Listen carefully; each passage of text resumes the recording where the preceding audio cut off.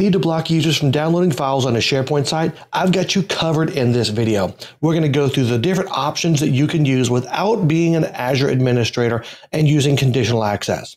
Let's get into it.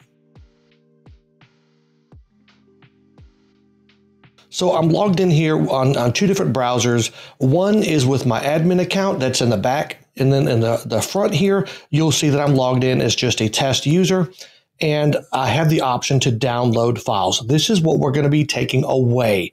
So first, I'm going to show you the kind of the free way you can do this with uh, just using SharePoint out of the box. So to get started with this, what we're going to be doing is going into site permissions. So, and then we're going to go to advanced permissions. We're going to have to, to, to customize the permission level. Now we're going to go into permission levels and we're going to be changing the read option here because we can change this uh, to take away the delete option with just unchecking open items. If you have open items, it will let you uh, view the source of the document, which really equates to the browser being able to download the actual docx file or the xlx file, the PDF file, whatever it is. Uh, it gives them the option to download that. So we're going to be taking that away and we'll click on submit. And you can you can do this with any of these permission levels. I just want to do this kind of more for the visitors, uh, the visitors aspect. So now that we've done that, if we flip back over to the test user, so after refreshing, clearing the cache, that kind of stuff, uh, we click on the three dots and we don't have the option to download anymore. So now anyone in that visitors group that has that read level of access will no longer have the option to download the files. So there is the free option, but it's it's a little bit messy because you're having to customize permission levels. It's probably not. I don't think it's best practice to modify those built-in permission levels what you really should be doing is copying that level, uh, copying the permission level, creating a new one based off of read and call it read without download. And you would change the, the permission there, leaving the stock one intact. That's really, I believe, best practice. But it, it, gets messy and it's hard to reproduce on other sites. You have to just go through all the same pro, the same steps on other sites. It's it's not that ideal, but it is free. Here's another way we can do this. It's not free. It will require some licenses, but it's going to give you a, a, much faster way of doing something like this, as well as letting the users know, hey, you don't have access to download files. So for that, I'm going to be backing out the changes, going right back to what we started with, and I'll meet you back here. So for this second option, we're going to be uh, first stopping off at the SharePoint Admin Center. So if we look down under advanced management, and if you've seen um, this before and didn't really know what that is, it's actually part of SharePoint Premium.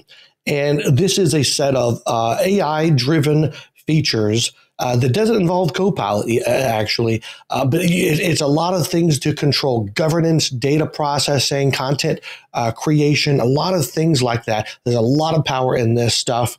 Uh, th- this this particular part is the part of SharePoint Premium called SharePoint Advanced Management. It does require licenses. By the way, if you um, haven't really heard much about SharePoint Premium uh, and you're trying to stay up to date with all of the different SharePoint features and news that's coming out, you should definitely look below in the description for the link to my SharePoint Insights newsletter.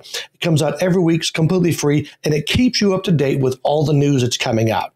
So give it a shot. But going back to the uh, SharePoint Advanced Management, right here at the top is what we're going to be implementing the block download policy for SharePoint and OneDrive because it does work for OneDrive too. You'll see that it is PowerShell. You, don't really have an option here other than uh, there's a, a link to a help article, which I'll list down below in the description as well so that you can uh, see more about this, including the PowerShell commands we're going to be running. So I'm here in PowerShell. I've already connected to the admin tenant. We are using the SharePoint Online Management Shell, so the one that's out of the box and not PNP PowerShell. So we, once we've connected, we're going to be running this command right here, set SPO site. We're going to pass in the name or the URL of the SharePoint site we want to lock down. And we're going to be setting this other parameter, block download policy.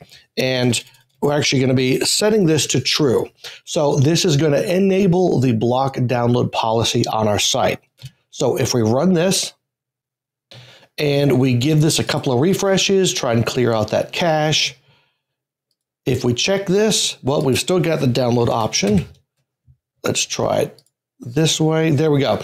Now the download option is gone. We don't see that just like before. But then if you look at the top here, it says uh, the, your organization's security policy does not allow you to download, print, or sync from this site. So it does give you a helpful message that downloads are blocked. That would uh, hopefully, hopefully, uh, alleviate any calls to the help desk saying I can't download my files or whatever that is.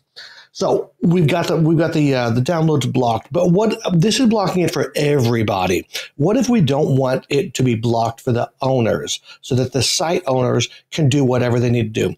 Well, what we can do is go back into PowerShell. There's actually other parameters for this um, this particular feature.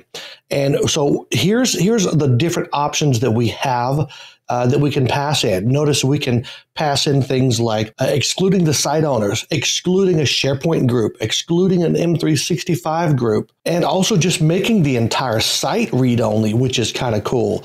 It's it's it's interesting that that's included with a block download policy, and you can also attach it to a retention label too. So that is actually a really good really good combination for protecting sensitive data because now you can't download it uh, at all. If I refresh on uh, logged in as the admin, do a control F5, there we go. So you see, it's blocking me as the admin from doing this as well, from downloading files. Let's add this in. Uh, exclude block download policy site owners.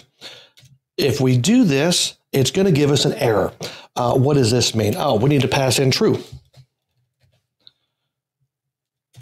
All right, so now that we've done that, uh, let's give this a refresh and we should be able to download again. Okay, the message is gone and we've got the download option. Let's check our other account, give a couple of refreshes here.